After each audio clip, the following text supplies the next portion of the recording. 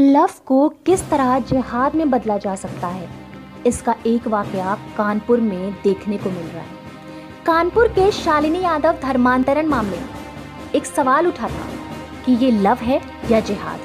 जिसका सटीक जवाब अब मिलता नज़र आ रहा है। प्यार में पागल होकर घर परिवार धर्म छोड़कर गई शालिनी के होश अब ठिकाने आने लगे हैं। गैर हिंदू पति और ससुराल में अपने साथ हो रही दरिंदगी के खिलाफ अब वो आवाज़ उठाने लगी। शालिनी की माँ सतरूपा यादव ने ये दावा किया है कि एक दिन उनके पास बेटी का फ़ोन आया था, जिसमें वो रो रो कर अपने साथ हो रही दरिंदगी को बयान कर रही थी। माँ के अनुसार शालिनी ने फ़ोन पर कहा कि मुझे बचा लो, ये लोग मुझे टॉर्चर कर रहे हैं। इन्होंने मेरे सारे पैसे छीन लिए। आपको बताएँ कि ये पूरा मामला 29 जून का है।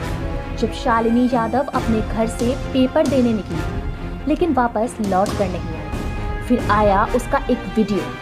गुरुवार को वायरल हुए इस वीडियो में शालिनी यादव अब फिजा फातिमा बन चुकी। थी वीडियो में वो साफ़ कहती नज़र आ रही थी कि उसने फैजल नाम के युवक के साथ अपनी मर्ज़ी से निकाह कर लिया है और अब वो शालिनी नहीं बल्कि फिजा फातिमा है। जिसके बाद सभी के होश उड़ गए।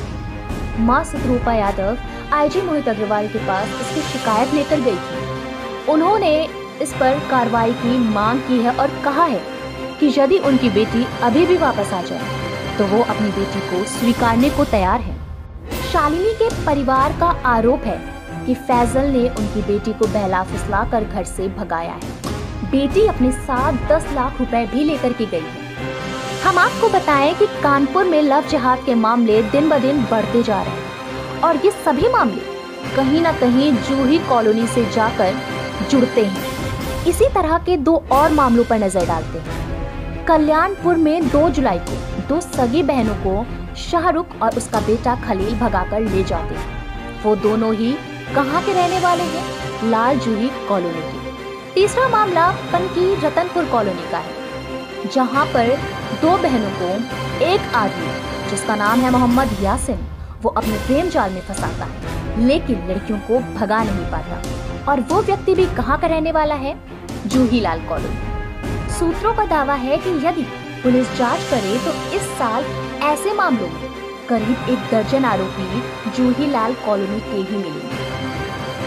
आरोप लगाया जा रहा है कि इस कॉलोनी में लव जिहाद के लिए बकायदा एक ट्रेनिंग कैंप भी चल रहा है। आपको बताएँ कि आईजी मोहित अग्रवाल ने फिजा के पूरे मामले में कहा है कि एक ही क्षेत्र में यदि इतने मामले हैं तो ये विषय काफ़ी गंभीर मामले की जाँच के लिए पाँच सदस्यीय टीम गठित की जाएगी और इस लव के गिरोह कैंप का खांडा फोड़ किया जाएगा।